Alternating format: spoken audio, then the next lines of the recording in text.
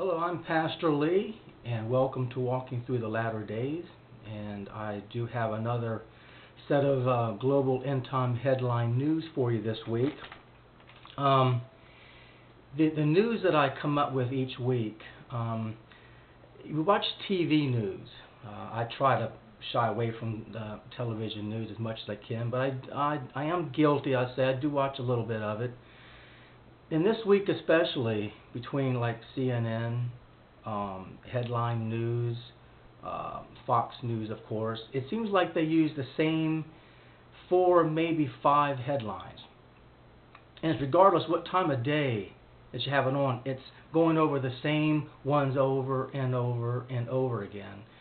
Now it's true, I could come up with the headlines here for the week and come up with the very same things that they have. Of course, they're just wanting to show and tell you what they want you to know and to hear, which is not the uh, the whole truth.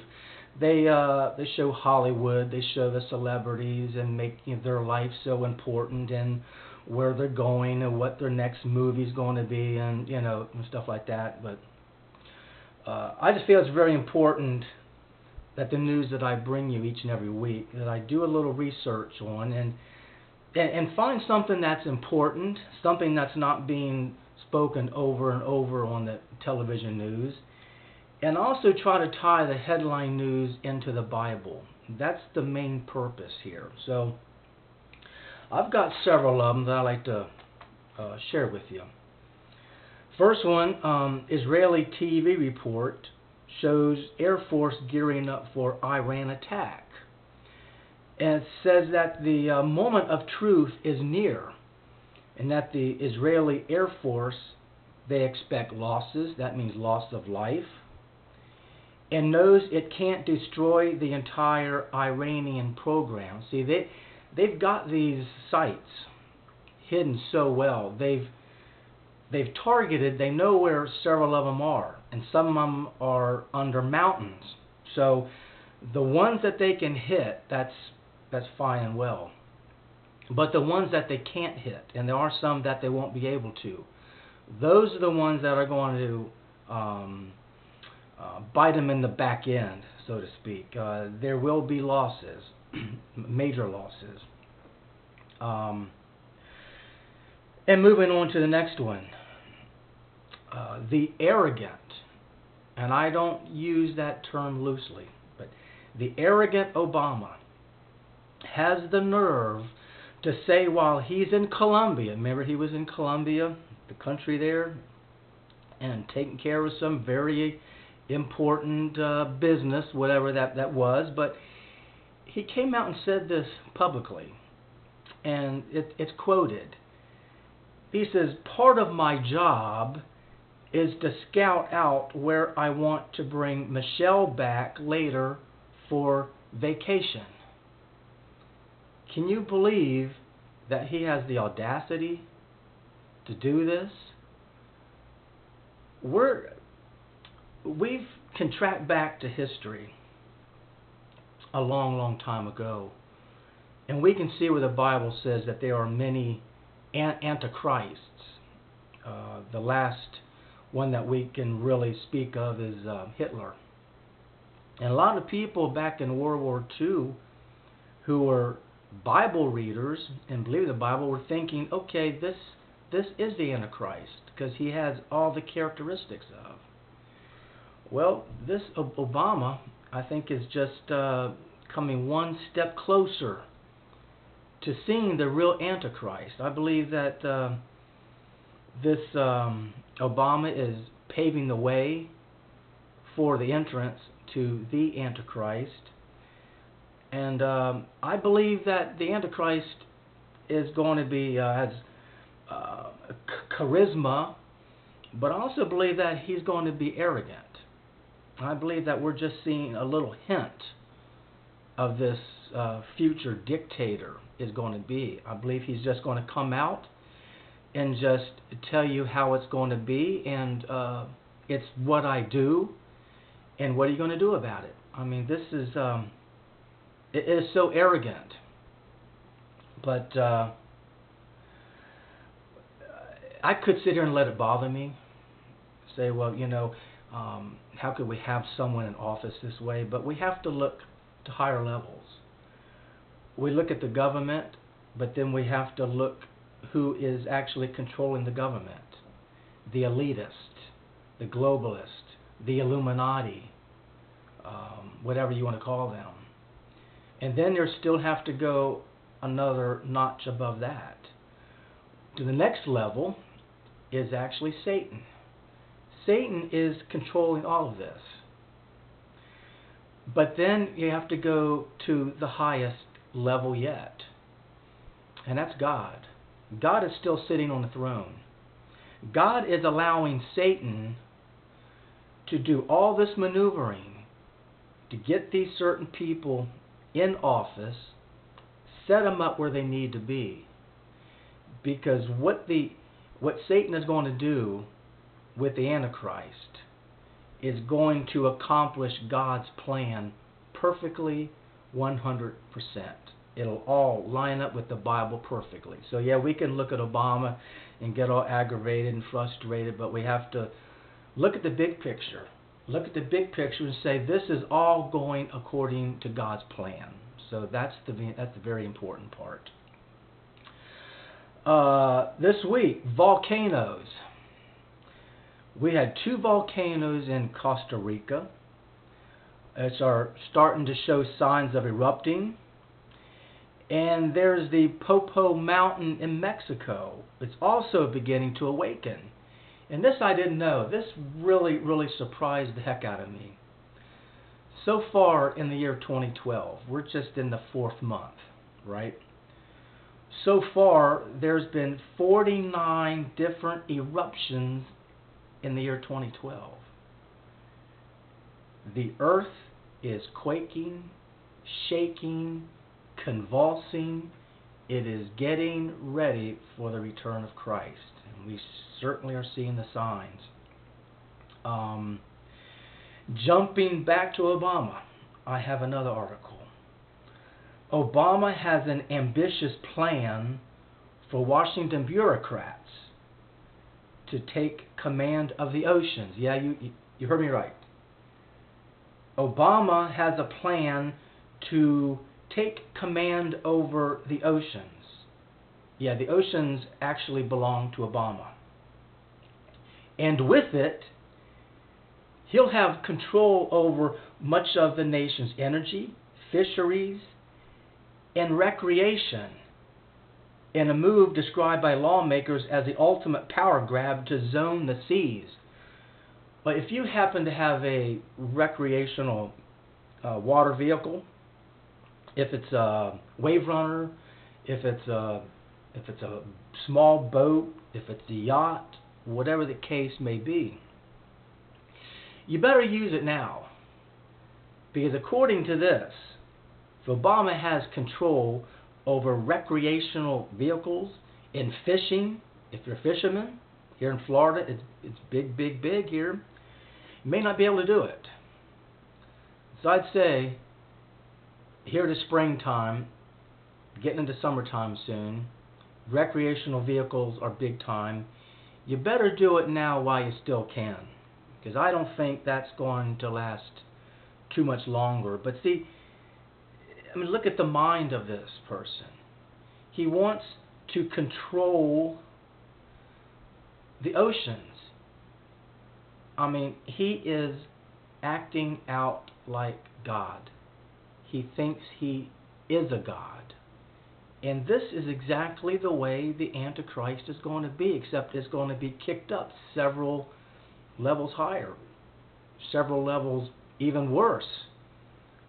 But uh, it's just it's amazing just to see this this power, and you know, with the elitist and the government officials, it's uh, it's not about money because you know with the um, Rockefellers, the Rothschilds, um, people of that sort, they they've got the money.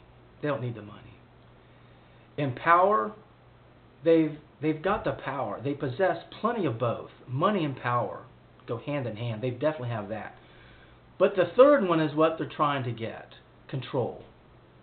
they're not they're not satisfied with just money or power, but they got to have that control. They're control freaks, which is exactly what the Antichrist is going to be. The biggest control freak that's ever lived on this planet Earth. And it's like with each dictator that we get is getting worse and worse, is getting closer and closer to the time when the revealing of the Antichrist is going to come. But the good thing about that is that the Bible says that before the Antichrist can be revealed, is that the one restraining the Antichrist, the one holding back, has to be removed or taken away. And what's that speaking of? It's speaking of the Holy Spirit. The Holy Spirit is inside of each born again believer, sealed to where it cannot be removed. So, for the Holy Spirit to be removed from planet Earth, we have to go along with it. So, that is the rapture, the rapture of the church. Um, I know a lot of people get hung up on the word rapture. They say, "Well, I've been in the Bible and it and it doesn't say rapture." Well, I have to agree with you totally, but it says caught up. It's translated. Look into Greek. Uh, harpazo, translated to raptura. That's where we get the English word rapture. But if you look in the Bible, um, look at Second Thessalonians, where it describes what being caught up is. So don't be hung up on the the word caught up. Look at what it's describing, and that's the important thing. We we can call it um, the snatching away, the uh, the rapture, harpazoed, what, whatever the words you want to call it is fine. But it's understanding what that is. And that is being removed from this earth to join the Lord Jesus Christ in the air. And then we will be taken off into heaven where we will be there for all eternity. Being saved from the uh, seven year tribulation that's rapidly, and I do mean rapidly, coming to this earth. Uh, my next headline speaks of black military helicopters. Black military helicopters conduct covert exercises over downtown Chicago. This was also done in Los Angeles not too long ago. But I saw on the, my uh, computer here, it had several videos taken of these helicopters going through downtown Chicago. They were roughly maybe between 8 and 10 stories up. There were three of them, uh, one behind the other, position themselves. Two of them would stay back, one would fly forward, then the others catch up.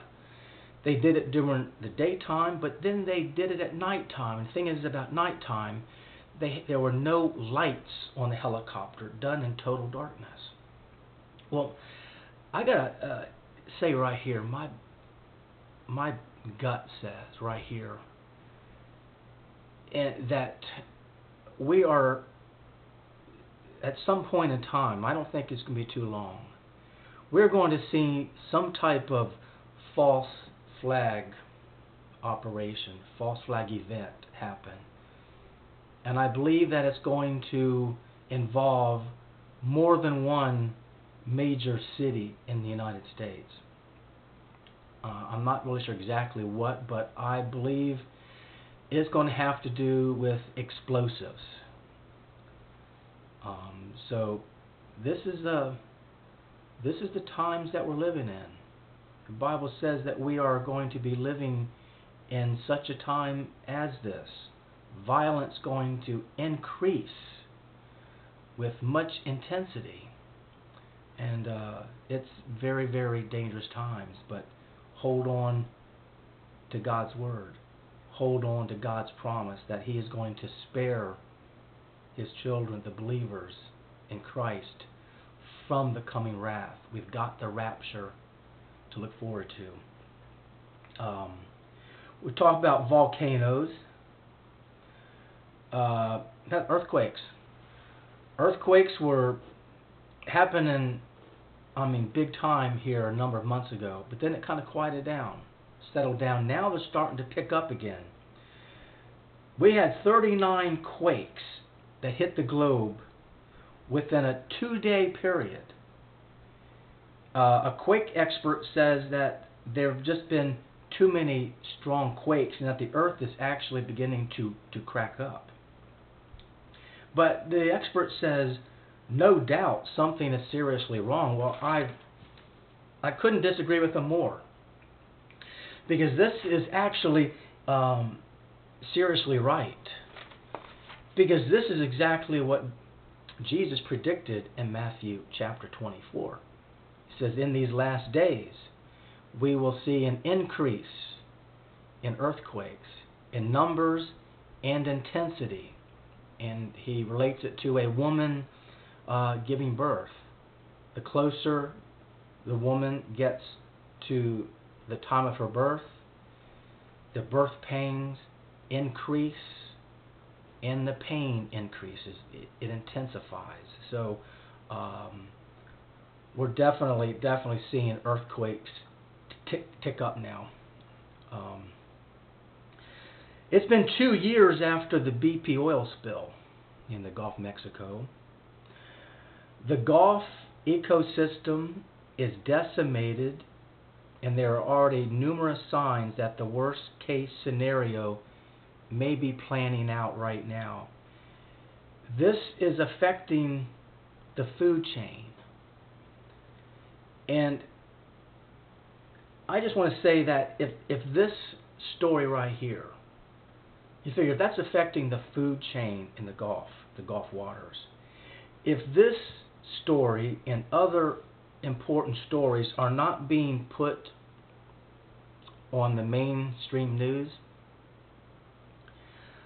uh, people just think um, it's it's not happening. If they don't see it on that news, it doesn't exist.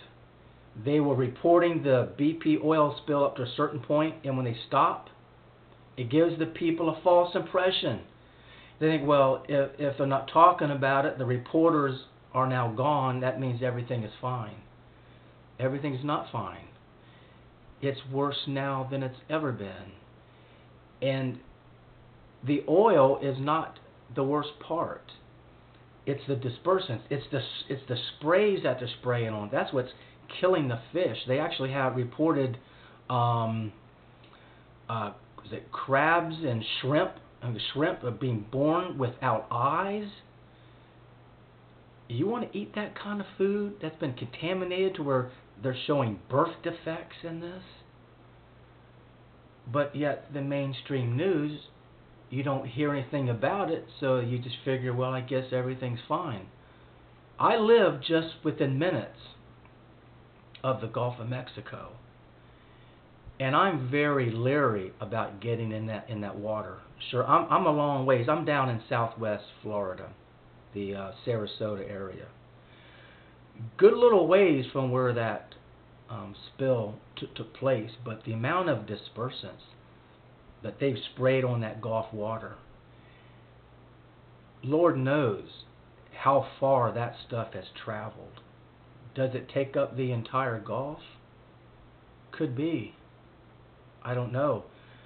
But um, you see commercials on TV. They're saying, "Oh, come to the come to the coast of Florida, come to Mississippi," and it's uh, everything is fine, but you know at the end of the commercial you see who it's paid for. It's paid by BP. They're lying to you, okay? They're lying to you. If you just listen to the reports or the internet of the actual people who live in like villages and towns along the coast who make their living off of that, they are hurting big time be- because of the damage that's been done to the sea life. Yeah, these are the times we're in. Um, Monsanto, the massive biotechnology company, is being blamed for contributing to the dwindling bee population. And they bought up one of the leading bee collapse research organizations. Why do you think that was done? To keep the truth from being heard. Here is a large organization that is checking, investigating on why the uh, bee population is dwindling big time, and they don't want that to be put out. They don't want that information to be heard. It's like what uh, is done in this country. If somebody's beginning to talk, they do away with them. They shut them up for good. So they figured this is what we'll do to get these people to shut up. We'll just go. We're just going to buy up that that organization. And I tell you, people might not think how important bees are. Say, well, a few less bees shouldn't hurt anything. They do. The pollination. Our food depends on bee pollination. Without it, you get famine. What's one of the words that Jesus speaks of in Matthew 24? Famine. Fits right into Bible prophecy. And one last headline mandatory. In other words, must be. Mandatory Big Brother black boxes in all new cars starting in the year 2015. What can I say is that the system of the Antichrist continues to take shape. Man, we are we are uh, moving along at uh, breakneck speed right now. I mean, we are ex- accelerating so quick into these last days. And if um, I've I've said, you know, if you're not ready, get right with God, get prepared. But you know, we are getting so close to that last to the last minute that I don't know if you have enough time to get prepared. It's urgent that you are prepared up to this time I have been saying, get yourself prepared, get yourself prepared. Well, now you you you've got to you've got to be prepared. I mean, that's how close we are. We are so close. I don't have enough time to go over all the different uh, articles and facts that I'm coming up with here, but there's so much that is going on under the radar scope. It's unbelievable what all this government is doing and what they're getting ready to line up. I mean, they're going to kill the dollar. They've already said by the end of this year of 2012, they want the dollar to be dead. We've never experienced such a thing. What do you, got to think about that? What what is that going to do to the economy? You think the economy is going to be bad now? If the dollar's dead, what's that going to do? It's only one thing you can do. I'm not going to leave you hanging. There is one thing you can do. The only thing when your security is removed, money is the security in this world. If that's been taken, there's only one security left, and that's the Lord God. God is your security. Don't put all your security into gold. I mean, people put security in money, they lose that and put it in gold. If gold isn't going to work, they're going to put it in something else. Put it in the one that's valuable, that does not lose value one that is greater than any kind of metal resource or any paper or tree that's on this earth, and that's God Himself. Make Him your security, and you can't go wrong because He won't let you down. He'll take care of you, okay? Well, I wrapped it up this week.